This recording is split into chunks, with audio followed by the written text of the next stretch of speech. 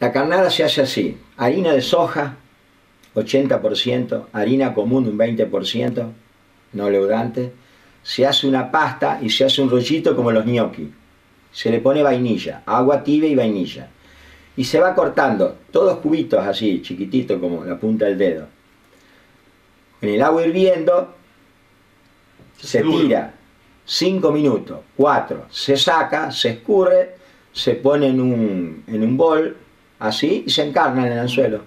Se hace un estilo trompito y se agarra armado, armado y moncholo casi siempre. ¿No se deshace eso? No, no, no. No se deshace. No.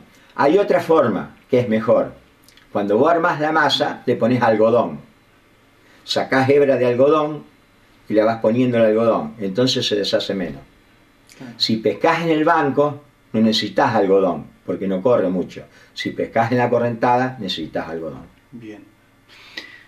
Otra pregunta, ¿se viene creciente o no se viene una creciente? Se viene creciente. Yo con los pescadores y con los lugareños, que hablo mucho, estimamos que un metro más vamos a tener de creciente. Y también estimamos que va a haber, no muchas, pero muy fuertes heladas. Cuando me hablas de un metro más de creciente sobre el nivel que tiene hoy. Sobre el nivel que tiene hoy.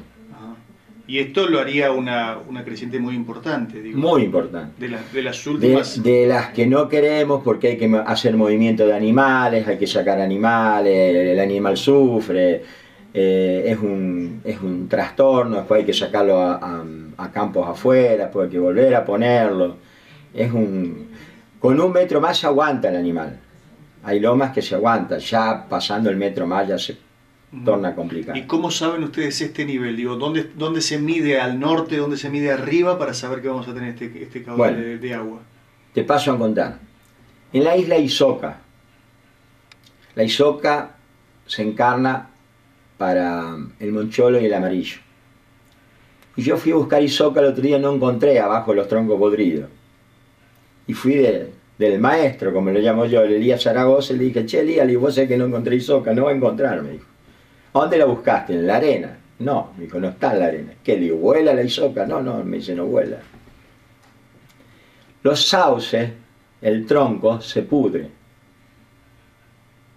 Y queda como una ceniza donde está podrido. A un metro del suelo está la isoca ahí adentro. Yo no podía creer. Eso da la pauta de que viene agua. Eso da la pauta de que viene agua. Busca altura. Que busca altura. Para no para no, ¿cómo se llama? Para no morir, para seguir haciendo el ciclo. La naturaleza es tan perfecta que es increíble, es milimétrica. Beto, conclusión, va la gente a pescar hoy, ¿hay, hay pique? Sí, sí, va a sacar, va a sacar, va a sacar. Por más que venga creciendo. Sí, sí, va a sacar.